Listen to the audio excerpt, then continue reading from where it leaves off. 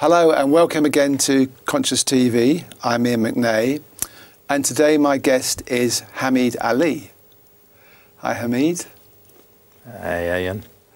And Hameed is also known as A.H. Almaas, which is his pen name, and he's written about 20 books altogether. I have a few of them here. The Unfolding Now, Realizing Your True Nature Through the Practice of Presence. Diamond Heart, Book 5, which obviously indicates there's a book 1, 2, and a book 2, and a book 3, and a book 4 as well. It's the last of the series, yeah and Essence, the Diamond Approach to Inner Realization, and the Point of Existence, which is quite dense but also very fascinating. So, Hameed, it's interesting. I was realizing earlier that last time I was in Amsterdam, I came for a conference, and it was quite a difficult time in my life. I was going through some changes, and I left one spiritual school, and I wasn't quite sure where I was. And I had dinner with somebody who said, You know what? The Diamond Approach, the Ridhwan School, which is your school, could be the right thing for you now. And uh, I found out there was a, a group happening in northern Germany near Bremen. And I went, that was just a few weeks later, I went to the, the first group, and that was very instrumental for me in understanding where I was more and also very much a catalyst for changing my life.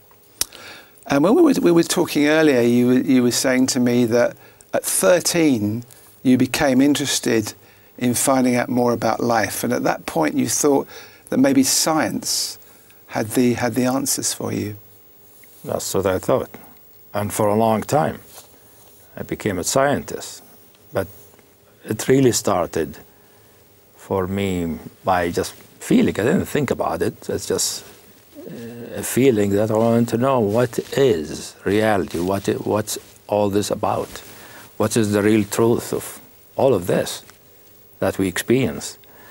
And I thought science will give me an objective knowledge, not somebody's opinion, not somebody's story was written you know, beliefs. And so I knew about religi religions and all that, but the, what I knew was like story. I couldn't tell whether they're really true.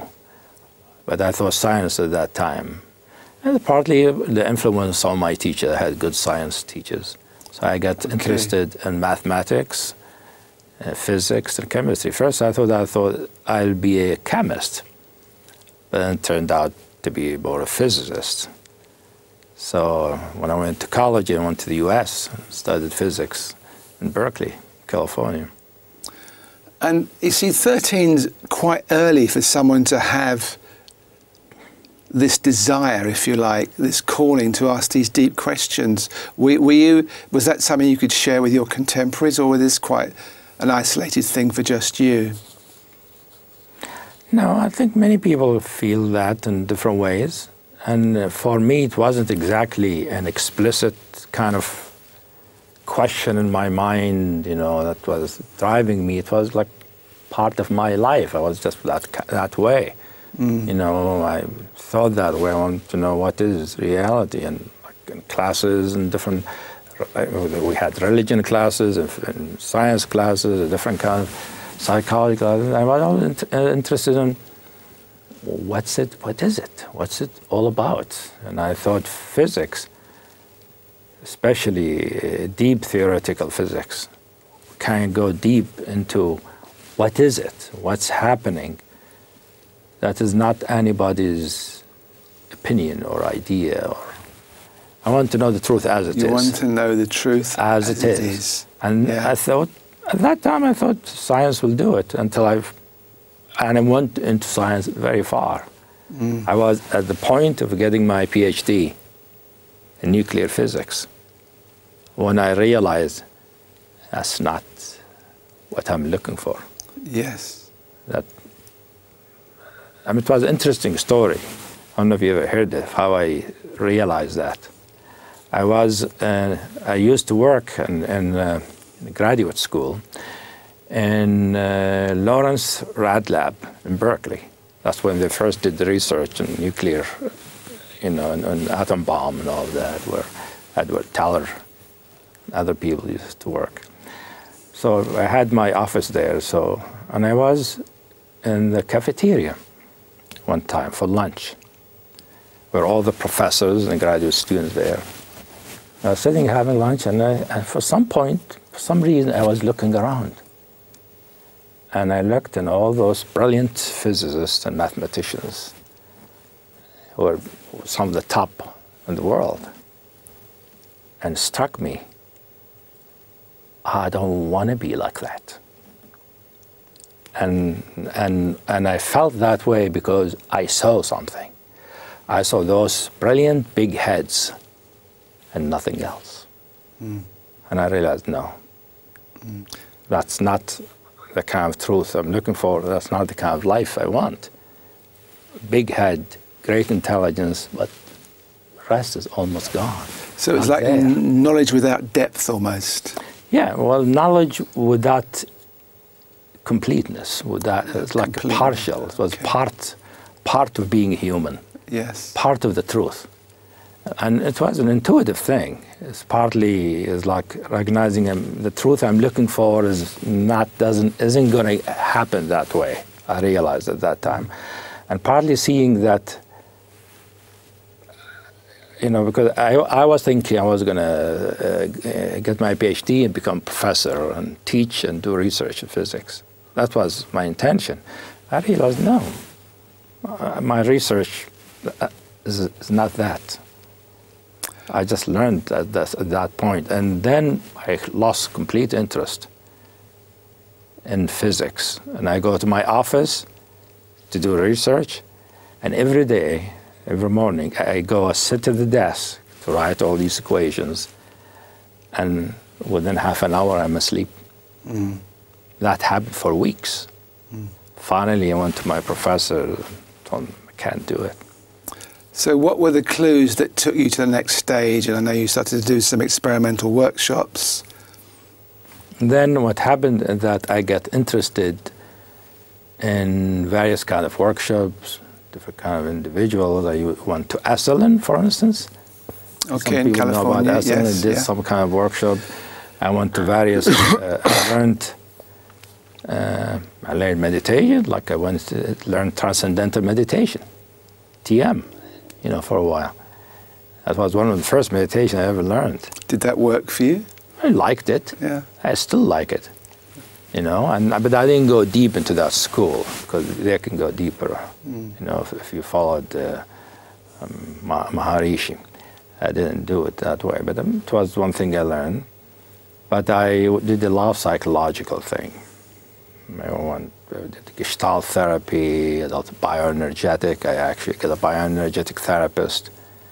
You know, I did several years of it. Then I did Reiki therapy you know, for several years, and I worked with the various Gestalt groups and and therapists, and um, I did many of what's called human potential movement. I was pretty involved in it and learning various things, and until, of course, I met uh, Claudio Naranjo.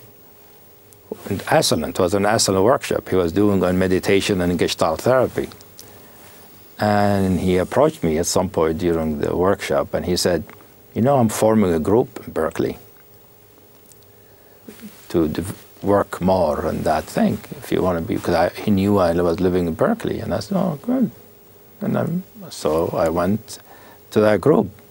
And of course, Claudio taught a combination of psychology, work with psychology, and meditation. He, different, he, he, he taught different forms of meditations. And he worked with psychology by using the Enneagram, of fixations, and he has a lot of psychological background because he was a Karen Horney uh, student. And so he, which, which he emphasized self-analysis. So he taught us self-analysis, basically. And plus, so he did, he did the two uh, direction, psychology and spirituality side by side. And, and hardly anyone was bringing that together, were they? That, those two Yeah, things together he was one time? of the first pi- pioneers, I'll say, of seeing that psychology and spirituality can go together. And he had a great title. He called it "Seekers After Truth." Yes, which so- must have really appealed That's to you. Yeah. Because That's what Gurdjieff called his work. I didn't realise that. Yes, he got Okay. from Gurdjieff. Okay. Yeah, Yeah. seek after truth. So, and then you were also, I think, in, I'm just looking at my notes here, you, you were involved with the fourth way teaching as well. Was that what was after that time? What happened, you see, uh, Claudio was instrumental in some sense, Claudio Naranjo, in my development, not in terms of my realization or my, uh, my liberation, but in terms of going in that direction. Because he knew he had something, but he didn't have everything. So he introduced the students to many other teachers. He brought many other teachers. He brought Rinpoches, he brought uh, Taoist masters, he brought Hindu masters, he brought Sufi masters. So I got to work with many of those people. Like one of the Rinpoches, for instance, Tibetan Lama, I worked with for several years. I learned a lot about Tibetan Buddhism. And I worked with E.J. Gold, who had more fourth way orientation and, um and uh, also Sufi orientation. I worked with another person who was more Gurdjieffian, fourth way. I worked with him for several years. And uh, at the same time, I was still continuing with my uh, therapy, and also I was doing my psychological, uh, you know, physical body work too, breathing and energizing, liberating the body. At the same time that I was learning, working with those various teachers, and it is by the time I was working with that fourth way teacher. At some point, I was beginning to have experiences, right, of what I call essential nature. When I talked to him about it, he didn't recognize him. He dismissed them. so, what kind of experiences were they at that time? I was experiencing something that I felt as truth. I was feeling I'm experiencing truth. But and I could feel it, Okay. sense it, see it, and it was like pretty palpable sense of presence of truth, which is so present, is like a conscious mass of 25 karat gold. I became like a statue of gold.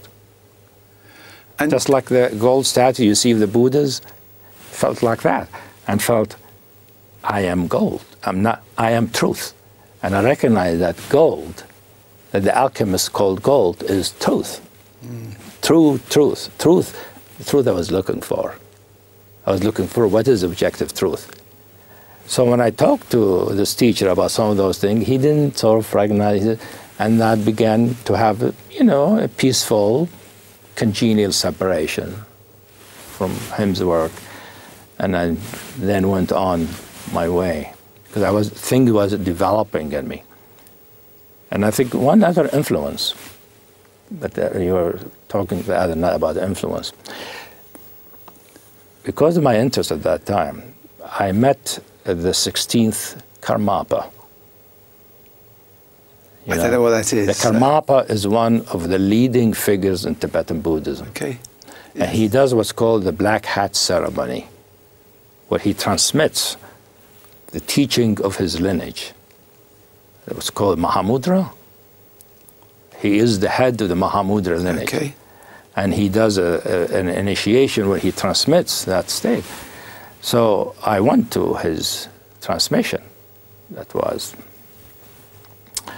the early 70s. And I got a headache. Many people had clarity and light. I had a headache for several years. Reminded me of Krishnamurti, who had headaches for many years at the mm. beginning. Of, I had a headache. And I went from one person to another, doctors, and then went to yogis, Hindu yogis. He said, oh, this is just some kind of gas. He gave it some name. When I talked to the Rinpoche, I, I- I knew. He told me this is light. I didn't know exactly what it meant. But in time,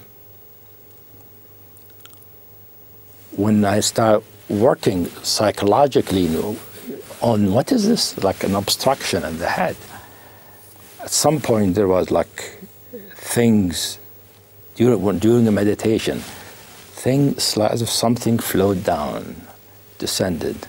And it was light, but it wasn't light the way people know it. It's more like liquid light. And I felt it as my presence. That is my being, mm. presence. And that was the discovery of presence, which I then talked to my friends, to like Karen. Karen Johnson, Johnson. yes. I yeah. talked to her yeah. about it. She'll talk to you about how she received it. And she got it right away. And I yes. thought other people will get it right away. Mm. But that was the beginning of the diamond approach. Because that presence, which is the truth of reality, the truth of what I am, didn't just stay that way. It developed and grew and manifested so many things about itself and the rest of reality and what I am. But how did that realization, that manifestation, mm-hmm. influence you in how you, in your day-to-day life, like how you how you interacted with other people, how you went out and about? How did that? Was that always with you, and how did that change change things on, on a personal basis? A good question. And at the beginning, when I was first learning, I noticed I was not interested in people. Like I was married, right? And we had a house, and I had a small group I was working with. But I was not interested in social contacts. Like my wife would invite people, I stay in my room, won't go. And really? She didn't? Yeah. Really? Yeah, and I'm, I might say hi, then go back to my room. Huh. I didn't. Want, I was interested in what was happening. Mm. And I saw that every all these other things will be distractions. For several years, it stayed like that. I, was not, I, I didn't dislike people or anything like I was friendly and fine, but I didn't want the usual social, practical thing to dominate. And that was natural. I didn't think it. I just did, it was that way. And that allowed this truth, this presence, this awareness to grow and develop and teach. Teach me, teach my mind, and teach other people. Mm. But then, of course, it changed. That started impacting my behavior and my relationship to people. And one of the ways it presented itself is personalness, what we call the pearl beyond price. The how to be not just this consciousness, conscious of itself as presence, but how it can be a person who interacts with another person, like I'm interacting with you. Okay. I am the true nature, but I'm also a human being. Showed me not only how to be a human being, but what is a real human being. Yes, it, that reminds me that, that when I got the first book of yours, yeah.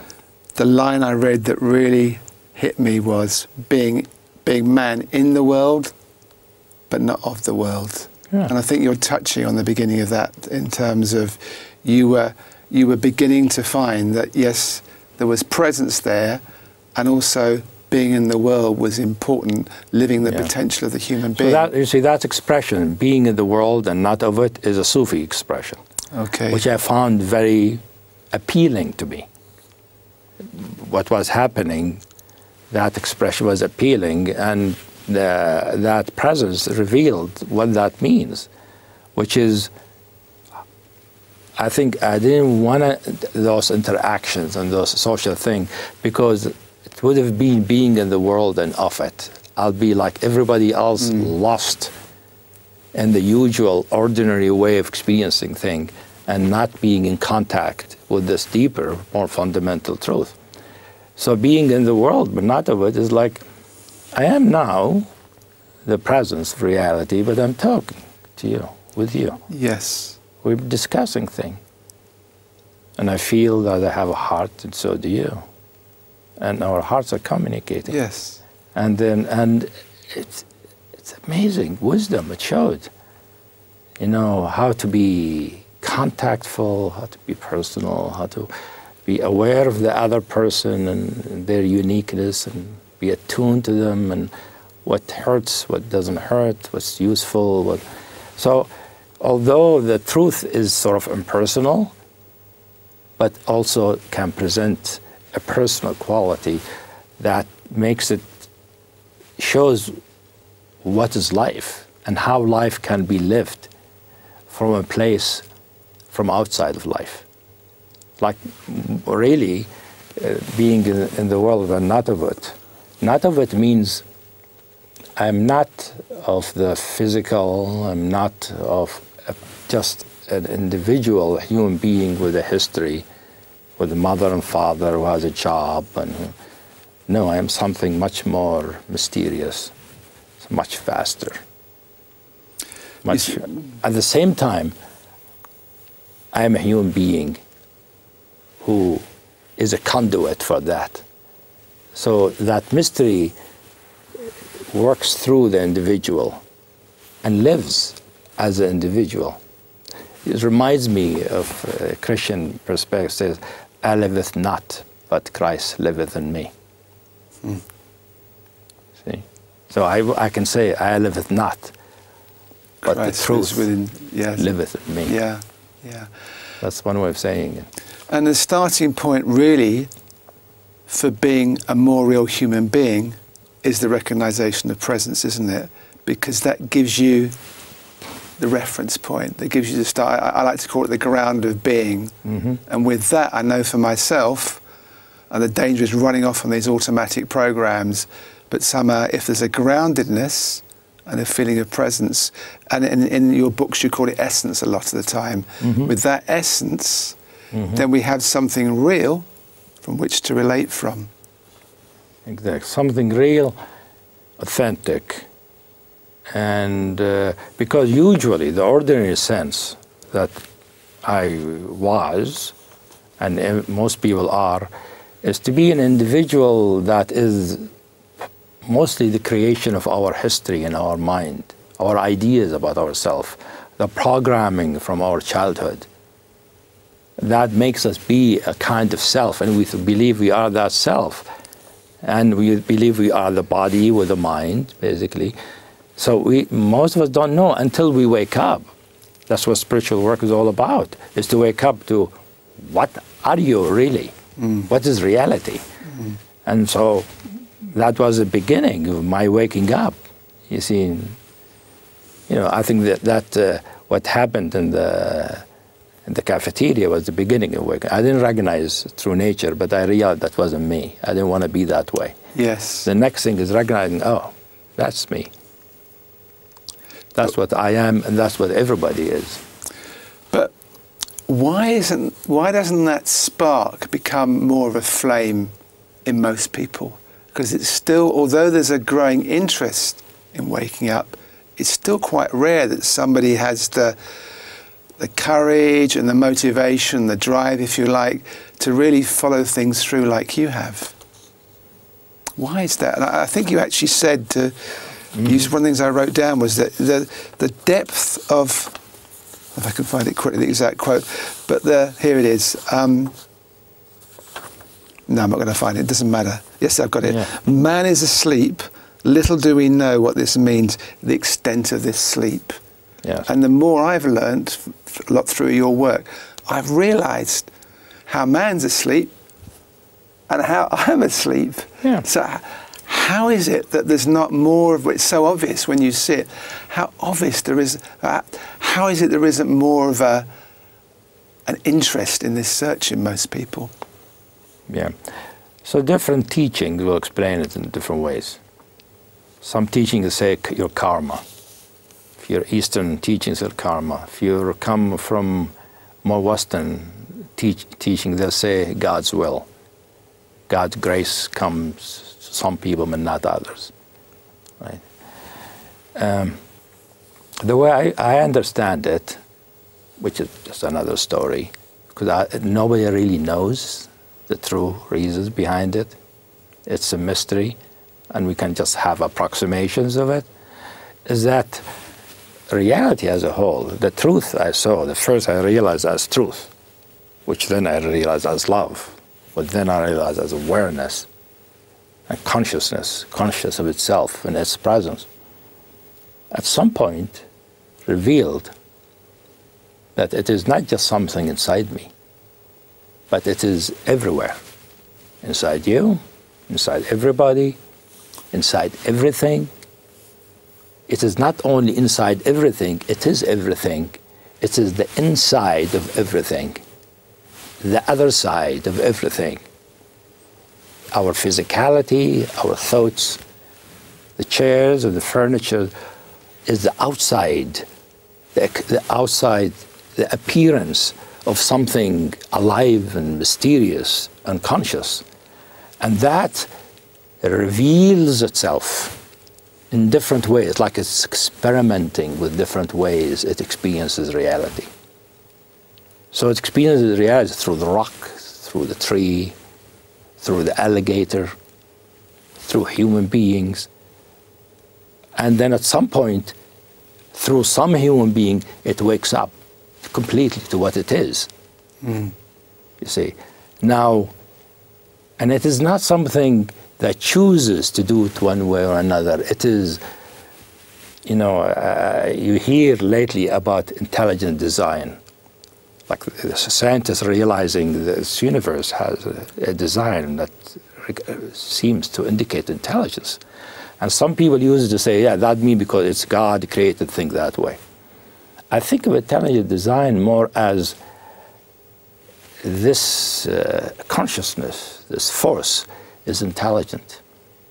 And just as intelligence usually experiment with this and that, some experiments work better than others.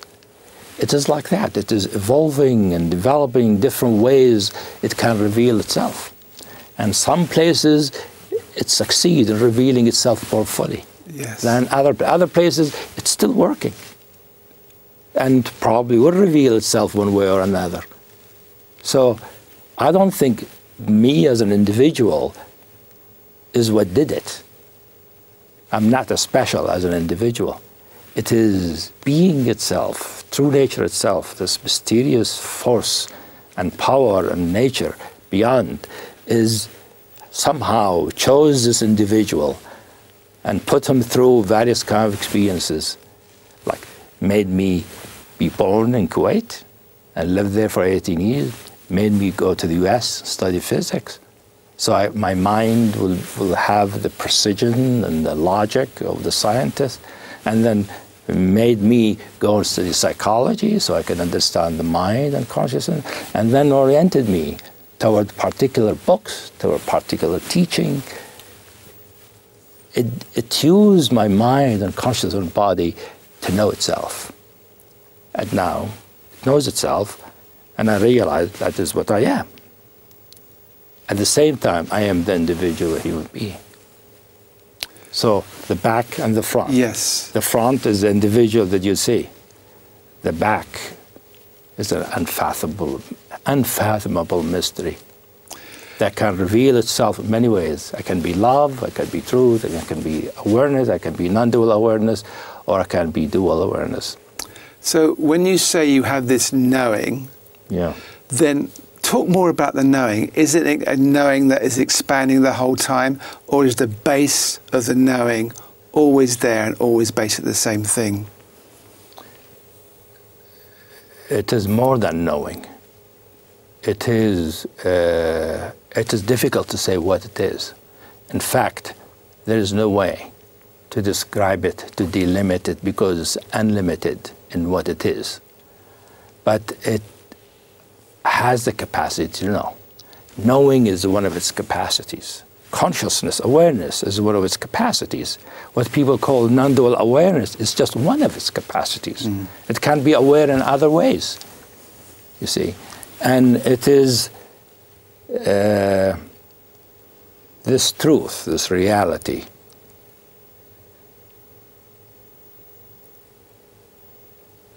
that expresses itself through all of us. That's what I see.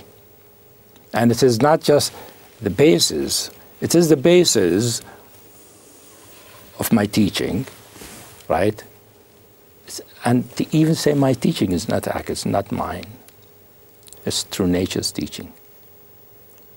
No. I'm only, yeah. uh, you know, uh, an instrument. The, the, individual that's called Hameed is an instrument for this uh, magnificent, unfathomable truth to express itself and to know itself and enjoy the rea- life on earth. How something indefinite, formless, becomes a human being who walks and talks and mm. experiences and loves and interacts. That is an amazing thing. It's a miracle. It's, it's a miracle. In so many it, ways. And it's always yeah. a miracle. Yes. When we recognize that, yeah. so when we when we just in our usual, the ordinary level of experience, we don't see the miracle. We mm. think we are those biological entities who are trying to survive and maybe be happy. And when we recognize this, recognize we, when we recognize our true nature, we realize no, it's an adventure. Yes. It's an adventure of discovery, of learning, of developing. And living life is a matter of discovering and expressing what we discover at the same time. Yes. So I, I live it, enjoy it, but I'm also learning all the time. And, and I, when I use the word I, uh, it's, it's confusing because there's no I in the usual sense. And consciousness, the excitement of your learning is coming from consciousness, the expression again of consciousness. I as a consciousness. Yes. Enjoy you. I can feel your heart. Right. I could feel the sweetness between us. You know, and I could, and that for me brings us closer. Because we're already one in a very deep way. From the consciousness perspective, which is what my essence is, my true nature, my true condition, my true being, there's no separation between us. And on our, in our human form, yeah. in a way, that's what we're seeking, isn't it? We're seeking this completeness the whole time. And, and we look outside and mm-hmm. we try and have more of this and more of ha- that because we want to feel happier and better on the inside. But maybe it's an oversimplification, yeah. but the way I see it is that's all a way. It's all a, a false way in its own way of trying somewhere to get back to the one, to the completeness. Yeah, I wouldn't call it a false way. I would say a misinterpretation. Okay. Because it is natural to be want to be happy, because our nature is happiness, and we want to be our, our nature. It's inherent to us. Every human being wants to be happy. Why? Why don't they want to be depressed? You can imagine a race of being who want to be depressed or want to be hateful all the time. No, human beings want to be happy. Why? Yeah. Because it, we are moved from deep within us, from the depth, to be happy because that is what we are. If we really are relaxed and open and at ease and being ourselves completely, we're pure delight. Pure delight. Pure delight. Yeah. There's, there's something I want to explore with you in terms of the different stages that, that you went through, and I think other people go through in their own way. And I think, I think you, you talk about first of all there was there was a realization there was presence, yeah. which you called essence, and you were with essence, and then there was a realization or the integration that essence and you were the same thing, mm-hmm. and then there was a further realization that you were the ground of being. I think yeah. you said containing essence. Yeah. Can you just talk us through those stages? That's the, the stage I went through because some people, some masters, they say they had an awakening and they're suddenly enlightened and they see everything is one. It didn't happen exactly that way with me. For me, it was a growing, a, develop, a presence that grew. It had an infinite mystery in it, and it was teaching my mind and my consciousness about it step at a time. So first, I was experiencing it as something that comes, some descends or arises, you know, descending force. Some people call it like Aurobindo, or something that arises within, comes from deep within the heart. And I was still being the human individual, what I call the person or the person uh, or the self. At some point, the, the, that presence manifested itself in such a way that it confronted, made me confront my identity. What am I? Am I really this person experiencing this presence? And I realized that that person was a shell, an empty construct of concepts and ideas and uh, memories from the past that my mind has constructed. But when you saw that, how yeah. was that for you? Because that's quite a devastating realization. It was. It, it, made me feel to be that individual. I realized it felt empty, meaningless. And I realized, oh, that's why sometimes I feel life is meaningless. Hmm. I realized, oh, that's why sometimes I feel like there's no significance. Turned out that was that's inherent to the sense of the ordinary self, which is what I call the ego self, which for me is a stage of development. Being manifests self gradually. This is one of its first stages. And, I, then, and then I saw a gap between that and this luminous presence. And that gap felt like an abyss, so scary. Mm-hmm. And at some point, by knowing the psychology, I was led to study self psychology. Kohut's, Kernberg, and other. That through that guidance. I saw those books. Said, that's what I want to read. I saw them in a, Karen's husband house who was studying psychiatry. So that's interesting. I wasn't interested in those things before. And I studied and learned about self psychology and how the self developed. And I said, oh, yeah, that's how it was. And I realized, but that is not exactly me. That is a fake self false self. It's a reflection of you. I think you yeah. talk about it being a reflection. A reflection. It's it's like a partial. Yes, glimpse. Uh, par, uh, partial expression of what I am, and but I was seeing it. That's what I am, and then that showed, uh, and that belief created a separation from the true nature, or from the luminous consciousness. And when I saw that disconnection, the disconnection dissolved. And as it dissolved, I realized that is that luminous presence is what I am. Mm. And that was it. It continued to be that way, but that, that, that luminous presence wasn't just one thing. It kept growing and developing. So what I am is not one static thing. That's what many people believe. You get realized, enlightened, and you become pure awareness or pure emptiness or pure love. I have been those. Yes. And I still am those. But I am something else also. Something more mysterious. And are there times in life practically you look back on the response that, that, that you, as Hameed, had to a certain event and you see that that could be more refined that response and you so you, you make a decision or there's a realization that next time you might act differently. Are those human those human processes still running? Yes it's always running. There's yes. a continual refinement of both of my understanding of what reality is and how to be skillful in living life in what I do, in my choices, my interactions, my communications. I'm always getting better. Or let's say, reality is learning to hone yeah. the instrument. Yes. And make it more and more perfect yes. expression. So that not only it enjoys its expression, but to communicate it so that other manifestation of itself also begin to enjoy that, that expression. That's why there's teaching.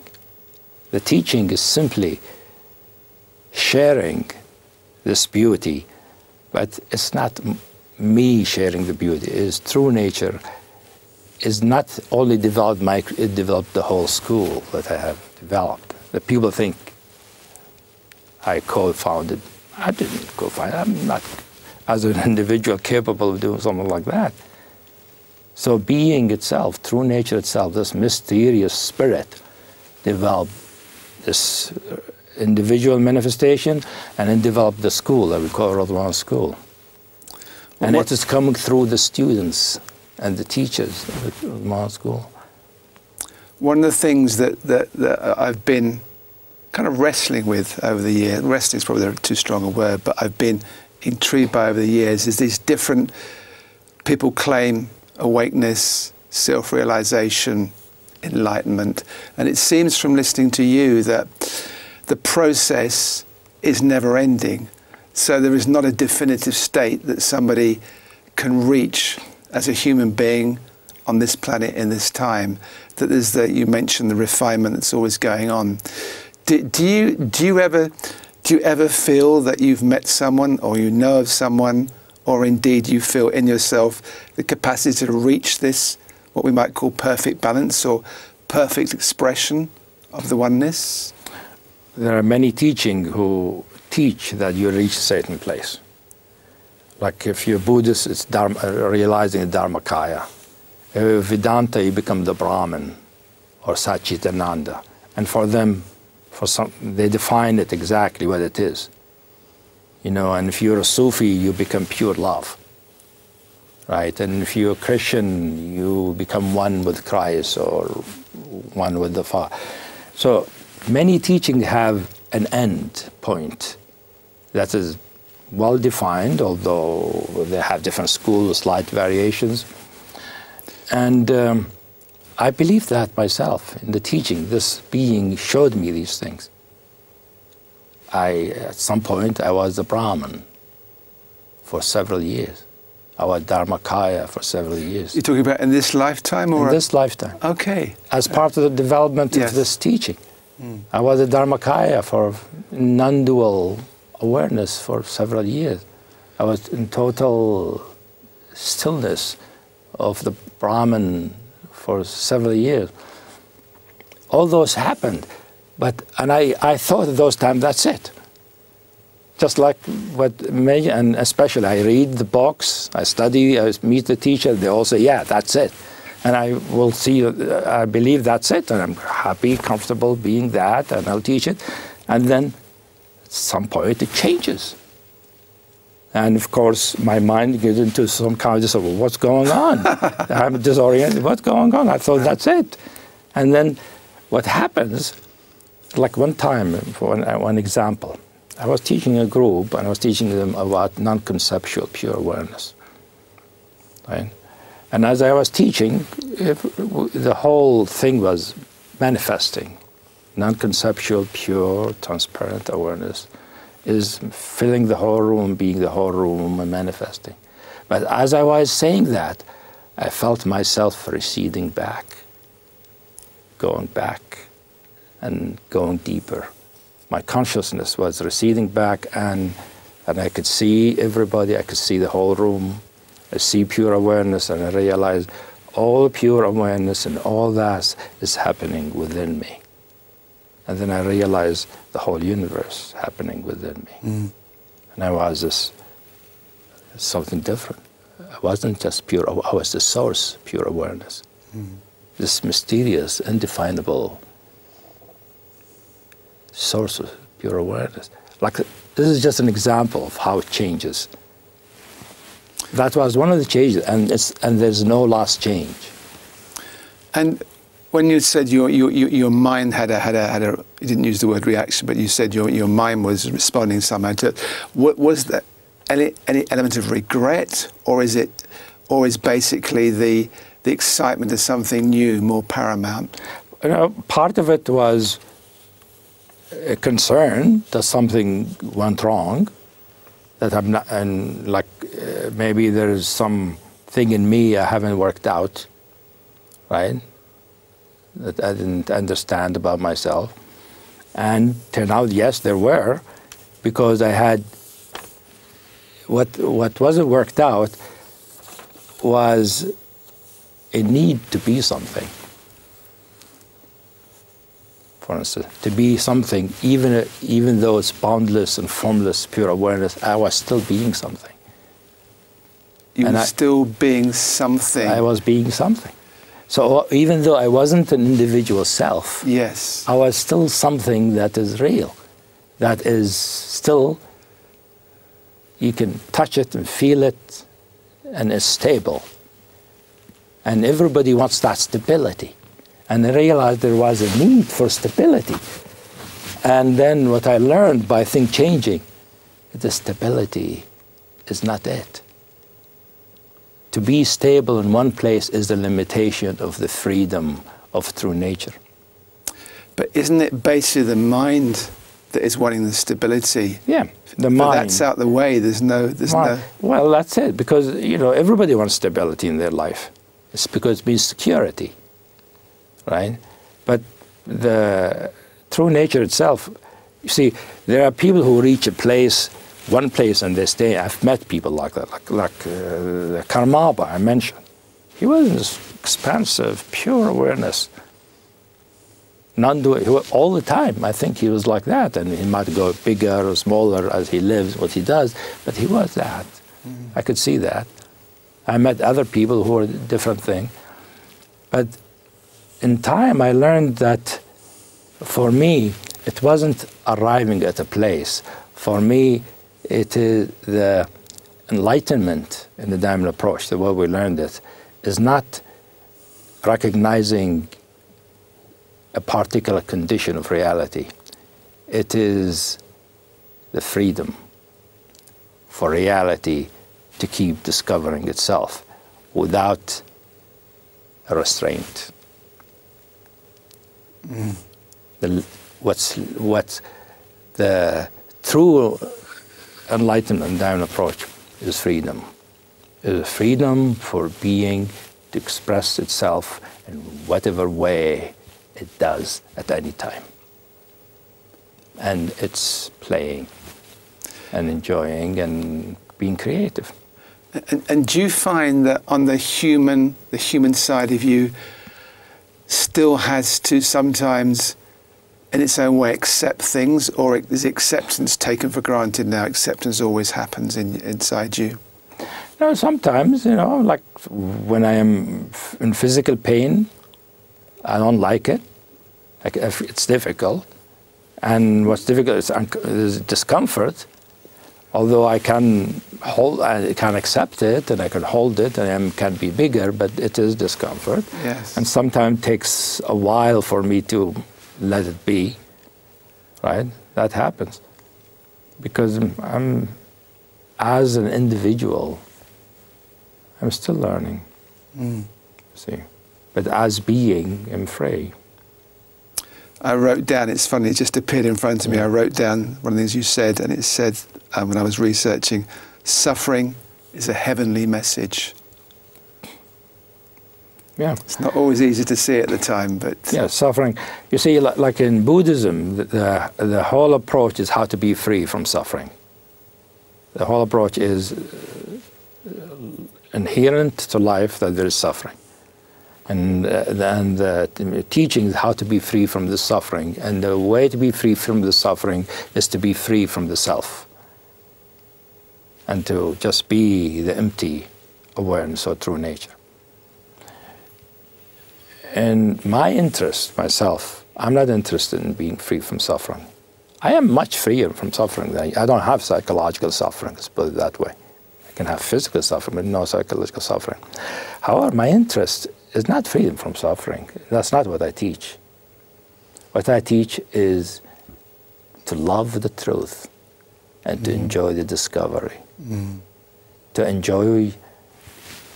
We're not here just to be free from being here. We're here to fulfill it, to be what's it for. So uh, reality didn't manifest this, all of this, so that to get rid of it. It's manifested it so that to experience things in a certain way, to to manifest some of its potentialities that haven't been expressed yet. I'm just and thinking. it is exciting. And it's wondrous. and that's what I want to teach people. To, I want them to catch the wonder and the delight of discovering reality. That suffering will be dealt with. We need to deal with suffering because that's part of the obstacles to the delight, part of the obstacle to the freedom.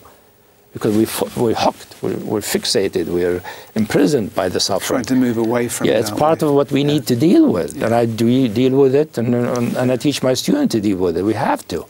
But it is part of the story. The main thing for me is this luminous delight that comes through, that once, that lives, that is say even once, is, is, is a human approximation. It just does it. Mm. It, is, it is the nature of what I am, of what you are, is to express itself, to manifest itself as fully as possible, and to know itself more, because it, it cannot know itself except through an individual consciousness like you or me. Human beings are needed by this mysterious ground express itself, to be itself, to, to talk with each other. I, I, was just I was just thinking we were talking at lunch earlier that you love Sherlock Holmes. Yes. And really you use that whole world of Sherlock Holmes in this. And you were saying some of the puzzles he have to, has to solve are quite difficult puzzles, but you, the vehicle that is you, is really alive by trying to solve this constant yeah. Adventure of consciousness. Not necessarily trying to solve, but exploring this constant adventure of consciousness. It is an adventure of consciousness. Yeah. And that's what Aurobindo called it, adventure of consciousness. He, he, okay. he, he got that. He talked about the adventure of consciousness. And I agree with the thing about freedom from suffering because I think there's a lot of suffering in the world. And uh, the, uh, when I see the suffering being manifest as kindness and compassion, wanting to help, do whatever I can. But I want to help not to be free, from, from suffering. The help, the real help, is for them to see the delight of their being. Because their suffering cannot go away without seeing the delight of their being. Mm. See? It's a disconnection from what we are is the main source of our psychological suffering. And that all teaching know. So we only have about two minutes left. Um, yeah. Anything you want to say in the last two minutes? Is not to assume it's difficult, not to assume it's impossible, not to assume only special people can do it, but also the other thing, not to believe it is something to arrive at, but to continue being interested in what is true, what is real, what is authentic, and let and it has no end. Like right now, for instance, people talk about non-dual awareness being everywhere. I feel that, but at the same time, I feel I am in your heart. Mm. I am in your heart. You know why I am in your heart? Because even though I perceive that you're over there and I am here, in my heart there isn't that. Mm. In my true heart, there's only one heart. That's so I can be inside your heart, and you're inside my heart. I can be inside the heart of anybody in the sense I am feeling their heart. I am the essence of their heart. And that's a different kind of realization. People talk about non-dual, boundless. This is not non-dual. It is beyond non-dual, beyond dual. And that is just an example, other way that enlightenment realization can happen. So I'm inviting people not to box it in each tradition tends to box it in as one thing. And it's true, each thing is freedom and liberation, but freedom and liberation can be even further. Freedom, even freedom and liberation from those freedoms and liberation. So that freedom liberates itself from being anything in particular. Okay, that's a wonderful place to finish, Hameed. Thank you very much. Not being anything in particular. Coming along. That's very good. I really enjoyed our meeting. It's very oh, special. I very feel wonderful. so sweet and happy. I got to being got to express itself. Wonderful. Thank you. Yeah, yeah. So I'm just gonna just gonna show some of Hameed's Yeah. book again. Here's A. H. Almaas is his pen name. So we have Essence, Diamond Heart, book five. The last of the series. That Yes, yes. The unfolding now, realizing your true potential through the practice of presence, and the point of existence. Thanks again, Hameed. It was wonderful meeting you here. Well, that was fun too. Iain.